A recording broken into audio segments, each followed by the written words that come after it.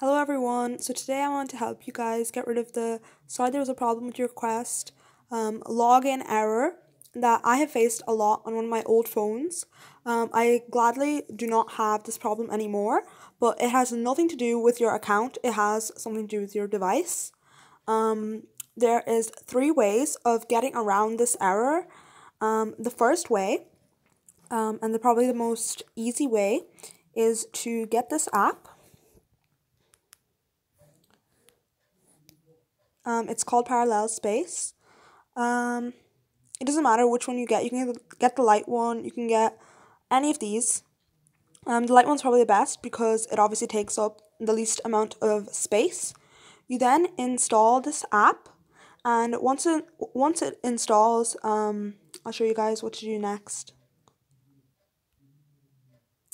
So Parallel Space has downloaded, and the experience on Parallel Space is actually really good. I had this app for about a year and you can basically clone your apps. So pretend um, you're not able to log into Snapchat for whatever reason. You can clone Snapchat on this app and be able to use it perfectly fine. And that's what you can do with Instagram.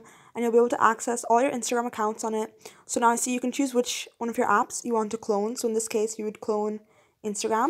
And you get the availability and the permission to be able to log in to your Instagram um, they kind of just clone like Facebook and Messenger with Instagram. I'm not too sure why, but I'm sure you can delete them, and yeah, it's your problem solved. Um, if you don't want to download Parallel Space, there's still two more ways that you can get back into your Instagram. Um, the first the first way is uh, get Facebook account. You're gonna have to connect your Facebook account to your Instagram on another device, and I'm not sure if this is still 100%, but it worked whenever I had this error, and I had this error for so long. So you connect your Facebook account to your Instagram, and then you sign in with Facebook, and it will let you log in without the sorry, we could not complete your request.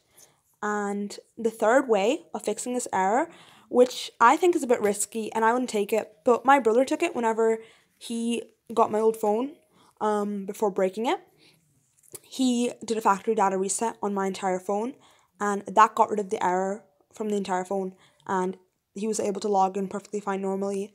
But if you have really important data on your phone um, i wouldn't say to do this unless you're completely desperate and the other two ways don't work for you because um, i'm not 100% sure but that's what he told me. So yeah. Uh, thank you so much for watching guys. I hope this fixes your problem.